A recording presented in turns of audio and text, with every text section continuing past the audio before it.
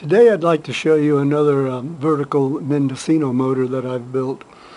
It's a uh, suspension system using some magnets, same as my uh, pulse motor that I have on YouTube. I'd like to, first I'll show you how the magnet's set up.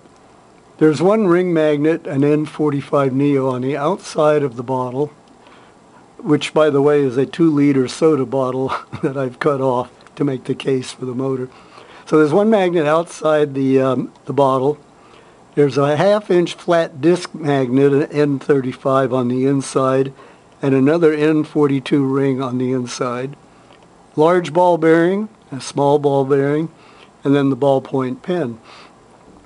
The reason I'm using the uh, ball bearings is to help concentrate the magnetic field down towards the tip of the pen and the idea is to have the magnets balance, almost balance the weight of the armature where the pin is being held on with a minimum amount of force.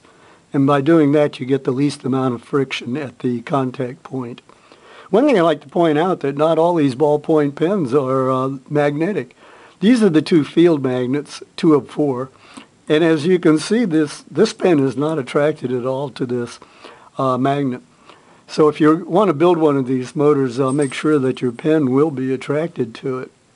The field magnets are two more flat N35 Neo magnets. One's on the inside of the bottle, one on the outside. So there's two here, and there's two more in the back.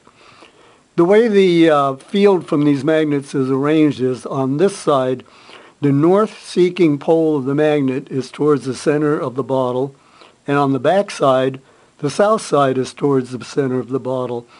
And what that does, it gives a constant magnetic field through the coils, which helps it run at very low light uh, intensity. Right now, it's in front of a north-facing window, and I've purposely got this backdrop behind it to cut down the light so it'll run slow enough so you can see uh, something I want to show you in a second. Because, uh, and also if the cushion was out of the way, the motor would be in a silhouette and you can't see any of the details of the uh, motor, which by the way has four uh, solar cells and two coils of 100 turns each wound with number 36 magnet wire. The reason I did this vertical suspension is I wanted to try some experiments with the magnets. And I'll show you one of the first things that was very interesting. If I just rotate the cup, the magnet, and the uh, bottle around, now you can see the other set of magnets. Watch what happens to the rotation of the motor. And basically all I've done is just change the uh, direction of the field through the coils. You can see the motor is stopping. And if there's enough light, uh, the sun just went behind some clouds, there it goes. It's starting to rotate in the other direction. And this is strictly due to the fact that the uh, only the field is uh, changed uh, going through the coils by rotating the bottle around.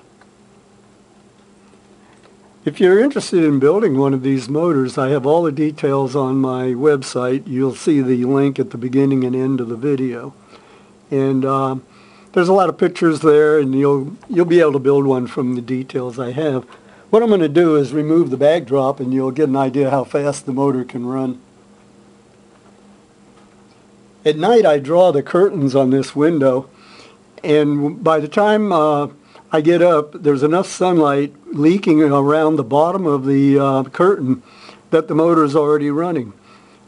So you can see it's picking up speed. And truthfully, I haven't even tried it in the sunlight. I'm afraid the solar cells may fly off. They're not held on too good.